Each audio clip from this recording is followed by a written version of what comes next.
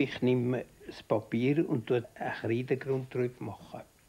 Weil auf dem Kreidegrund kann ich besser schneiden, auf dem leeren Papier könnte ich nicht schneiden. Und dann wird das eingestrichene Papier wird auf einen Halbkarton draufgeklebt. Und dann, wenn es trocken ist, wird das Messer genommen und das eingeschnitten. Und während dem Arbeiten sehen wir schon ungefähr, was durchgeht. Aber man kann nicht endgültig sagen, ob die Arbeit geraten ist.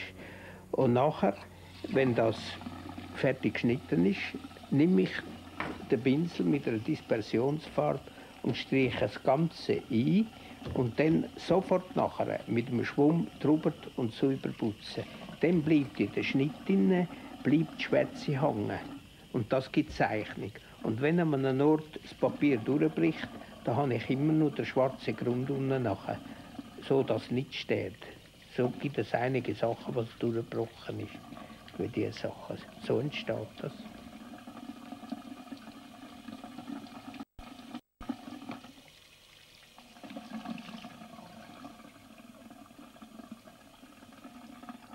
Das, was ihr hier seht, das sind Schnittcollagen.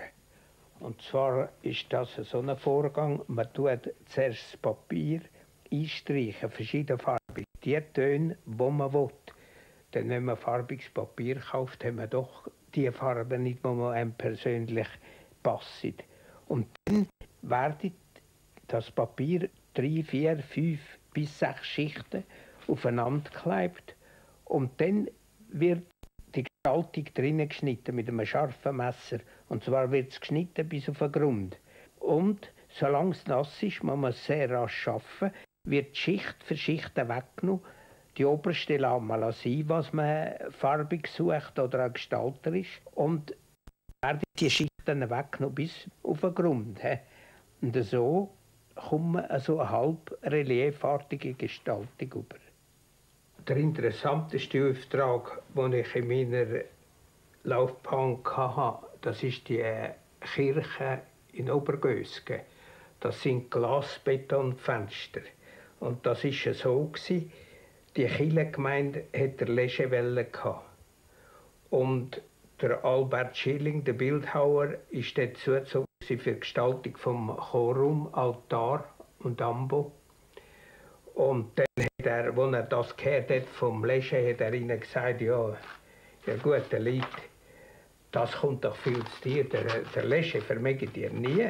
Und dann haben sie gesagt, ja, wer, wir, wer sollen wir denn nehmen? Dann hat er gesagt, sie wollen dann zum Steckli gehen. Und fragt, ja, wer das sein? Ja, da wohne ich zu Basel und sie haben dort Stamms daheim ich war in Stanz und dann äh, kommt der Fahrer von dort.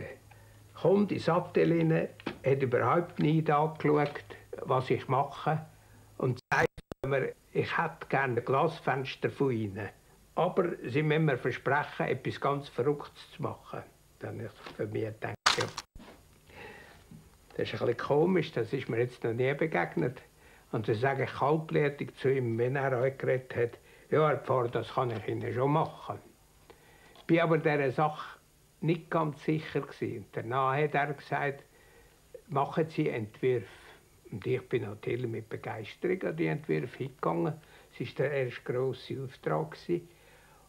Und habe grosse Entwürfe gemacht von der ganzen Kirche, ganz abstrakte Fenster. Da ist er schauen, mit dem Architekt. Er hat gesagt, das gefällt mir. Machen Sie Karton. Dann habe ich die Karton gemacht, Originalgröße. Und danach kommt er und sagt, jetzt müssen wir nur für die Kirchengemeinde. Und dann habe ich gedacht, oh, jetzt, jetzt geht es den Letz mit so abstrakten Fenstern. Dann fragt er mich, was soll ich denn den Leuten sagen? Und danach habe ich ihm gesagt, hören Sie, sagen Sie ja nicht, dass das abstrakte Fenster sind.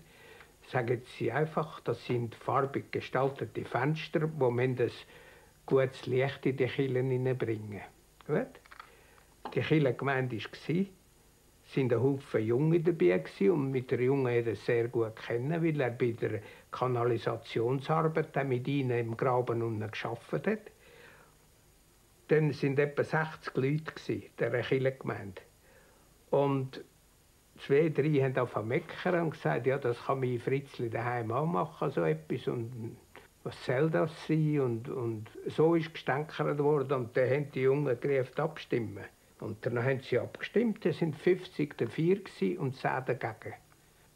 Und ich bin natürlich mit großer Begeisterung an den Auftrag angegangen, habe das ausgeführt und zur Zufriedenheit von fast allen ist das ausgeführt worden und äh, abgeschlossen worden. Und dann ist mir der Pfarrer für die ganze Arbeit 12.000 Franken schuldig gewesen. Und eines schönen Tages komme ich von der Post so ein Päckchen über, bei dieser Größe. Und denke ich, ja, was schreibt er jetzt da? Hat man ein Büchlein schicken? Oder? Und das war mit 30 Rappen Franken her. Und ich tue das Päckchen auf und komme mit 120 100er Noten raus. Ich habe zuerst den Kopf geschüttelt, wie vertrauenselig der Pfarrer ist, aber offenbar hat er doch recht gehabt. Es ist einmal angekommen.